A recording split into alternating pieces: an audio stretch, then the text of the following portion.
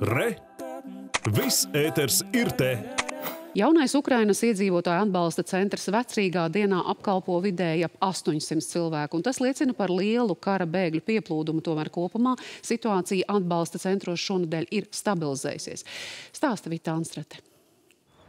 Durvis bijušās Rīgas Tehniskās universitātes telpās vecrīgā šodien nemitīgi ver vaļā cilvēki, kas ar vienu ierodas no Ukrainas. Un kopā Rīgas pašvaldība līdz šim uzņēmusi vairāk nekā 7600 bēgļus. Tas ir daudz, un tāpēc bēgļu ģimenes tagad izmitina arī pie privātpersonām, rīdziniekiem, kas gatavi uz laiku dot kaut vai istabu savā dzīvoklī. Runājot tieši par privātpersonām, jā, gribu palīdzēt bēgļiem anketā vēl joprojām ir arī jauni pieteikumi.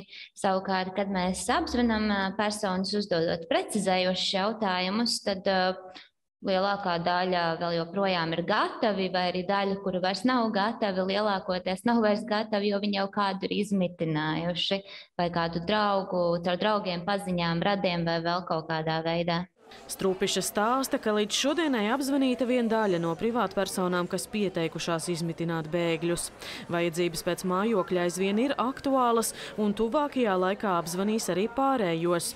Jaunajam atbalsta centram šodien trešā darba diena, un darbiniekiem esot vieglāk strādāt. Salīdzinot ar kongresu namu, šeit iespējams nodalīt cilvēku plūsmas un izvairīties no lieliem pūļiem un trokšņošanas. Pirms jaunā centra atvēršanas bija nedaudz bāža, kā būs ar caurlaidību, vai tiešām mēs sasniegsim no uzlabojumus ar kongresnāmu.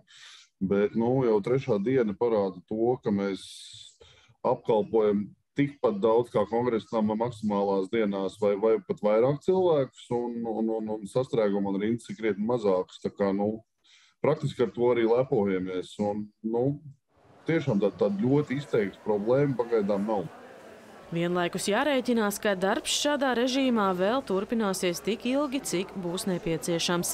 Vitāns Stretolavs Perševits, Latvijas televīzija.